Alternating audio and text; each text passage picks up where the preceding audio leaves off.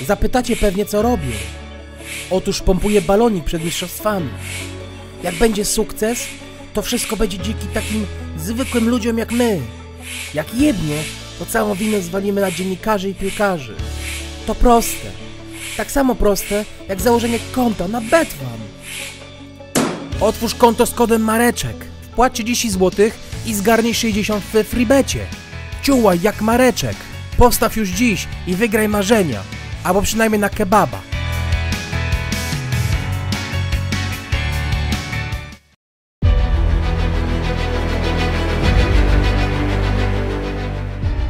Marek! Marek! Marek? Mareczek? Co do kur? Marek? Jest tu Marek? Nie, panie prezesie, nie widziałam go. Się wchowanego bawi, czy co? Beton!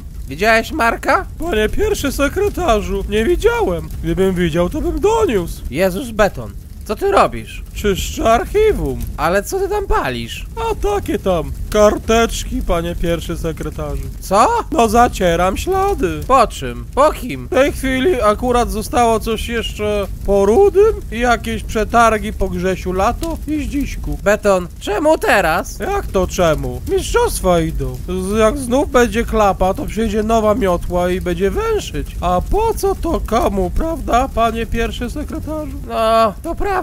Ale ja jeszcze zostaję. Spokojnie. Po panu też posprzątam, jak przyjdzie czas.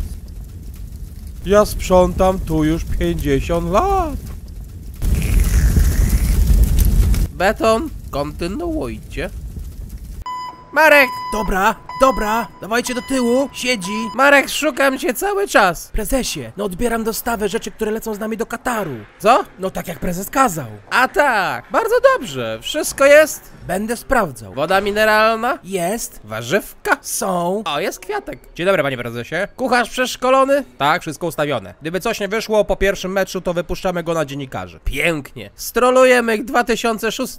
Zjanasujemy ich? Borkowi pęknie żyłka, jak to zobaczy. O, przyjechały rzeczy dla kucharza. Tak jest, drogo, ale zdrowo i dietetycznie. No, tak.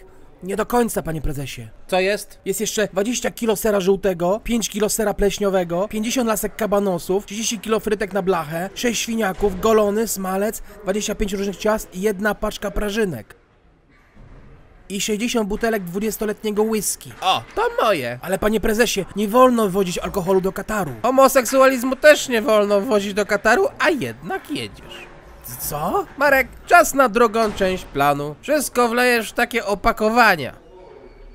Caprio? No jaha. Prześcieradła się nie skapną. A świniaki po co? Ostateczna broń na Arabię Saudyjską. No tak, logiczne. A prażynki czyje? Pana selekcjonera? A Czesio gdzie? Upiechniczka na audiencji. Upierniczka? Podobno rozpalił kominek i nadaje. O, cholera.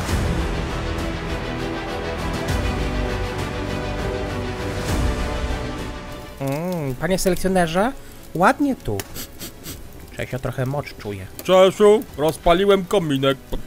Jest 20 stopni, ale spoko. Czesio ogarnia. Taki wiek, człowiekowi zimno na starość. Inka skórka się robi. Bo... Czesiu, rozpaliłem kominek, by powiedzieć ci jedną bardzo ważną rzecz. Ojej, Wręcz fundamentalną prawdę o kadrze. Czesio słucha uważnie. Kiedy prowadziłem reprezentację, to zawsze patrzyłem głęboko w swoje serce i widziałem, Zawał? widziałem pokłady od Odbytu? odwagi, jaką muszę mieć, by odnieść sukces. Aha. Ty też musisz mieć odwagę. Malagę? Odwaga. Malaga. Odwaga. Malaga. Odwaga. Nie, Czesio Malagę. Malagę? Czesio Malagę na Roberta.